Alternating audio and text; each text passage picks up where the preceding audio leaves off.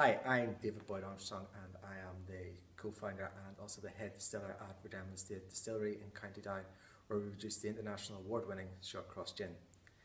Shortcross Gin is a little bit different from many gins on the market. It's much more floral and fragrant and that's due to how we make it. At the distillery we do everything from forage to botanicals through to distilling the spirit, bottling, labelling each bottle by hand. For our botanical mix we use fresh elderflowers and elderberries from the forest at Rademon, local apples including some from our own walled garden, along with wild clover from the lawns at Rademon Estate. This helps create a really floral and vibrant gin that showcases the best of botanicals that we have local to us in Ireland. Taste-wise, Shortcross Gin is very juniper-led.